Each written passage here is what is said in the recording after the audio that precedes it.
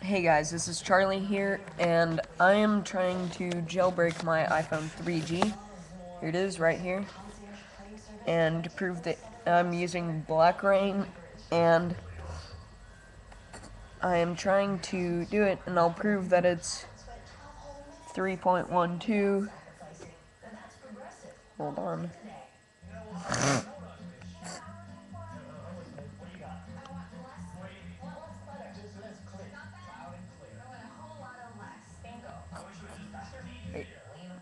Three point one two, right there.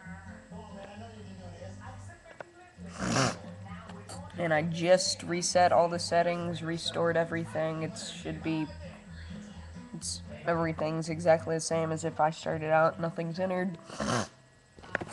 So what happens?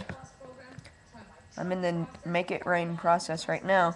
I'm hooked up, USB, and I press make it rain. It says entering recovery. It loads, goes into recovery. Once again, I'm using Black Rain to do this. It goes into this, and then it just says entering the recovery, and it pulls up the error message. It says iTunes has detected an iPhone re in recovery mode. You must restore this iPhone before it can be used with iTunes. I X out of that. By the way, I'm doing this all by Mac. Uh, it just stays here and it says entering recovery just the whole time and it doesn't do anything. Please help.